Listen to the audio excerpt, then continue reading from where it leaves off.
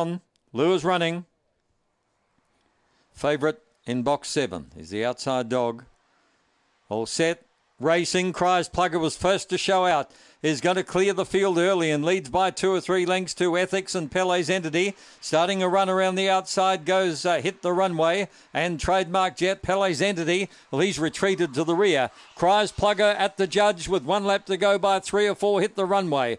Five away then to Ethics. Another three or four further back in the field then. Trademark Jet and 20 away to uh, Pele's Entity who said Chewy on your boot.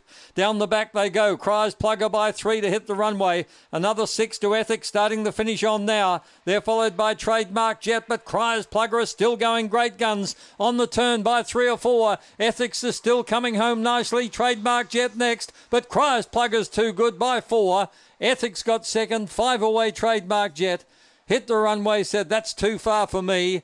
And Pele's entity 20 lengths away said, That's too hard for me. Stand by for the placings. But the winner, Cries Plugger, first out. And uh, was too strong.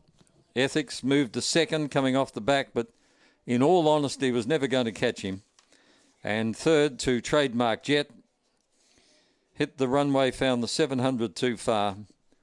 44 4 was the time. 44 4. Uh, the winner, number seven, Cries Plugger. Second, two Ethics. Third placing to number four, Trademark Jet. And fourth home was number five, Hit the Runway. Cries Plugger is a brindle dog by Spring Gun from Cries Midget. Is raced by Margaret Cry.